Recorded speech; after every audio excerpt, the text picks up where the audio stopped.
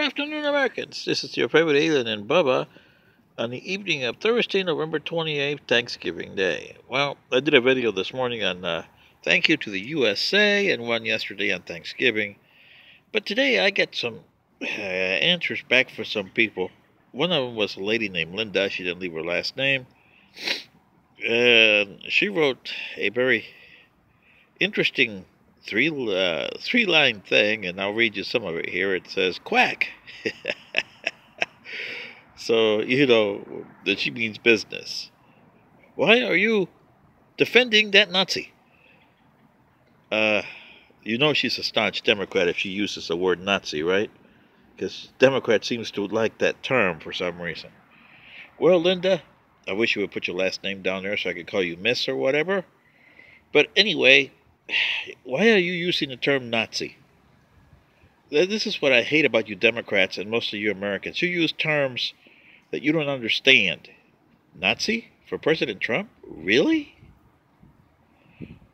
Now, President Trump and Adolf Hitler do have something in common. They do have a good oratory, and yes, even though it's not plash or that the or the uh, remarks that President Trump says, even if they're vulgar, have an audience. Okay, same as Adolf Hitler did. Otherwise, the Nazi Party would not work. His auditory is what carried the Nazis. It resonated with some people that did the dirty work. President Trump's resonate with some people that carry his base. There's nothing you can do about it. That's the way some people are. He is that way. Theodore Roosevelt had a charisma like that and an oratory the same way. And Franklin Roosevelt, his cousin, did the same thing. John F. Kennedy had that kind of persuasion there.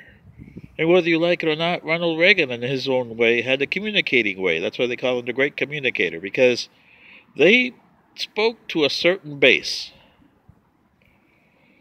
And whether you like it or not, Linda, and you Democrats that call him Nazi, this is the way the president is.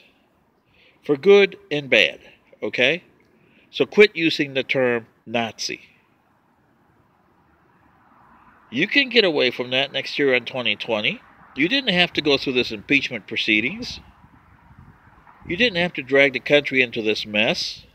All you had to do was wait until November 2020, and if you don't like them, vote them out. That's all you have. But you don't have the base that wants to do that because you don't have the people on your base that know what the heck they want. The Republicans don't either. But President Trump's got a 30% plus base built in already. He knew the base was out there when he ran. Otherwise, he would not have run. All he needed was at least a certain amount of dissatisfied Clinton voters to help him over the hump. And he got that. He knew there would be more dissatisfied Clinton voters than there would be dissatisfied Trump voters. Now, you Democrats, when you're doing the 2020 and you picked your dum dum, I mean, Democratic candidate that you want next year, make sure that he can attract more plus voters than he could give up dissatisfied voters. That was a problem with Clinton. There was more dissatisfied voters and plus voters. Okay?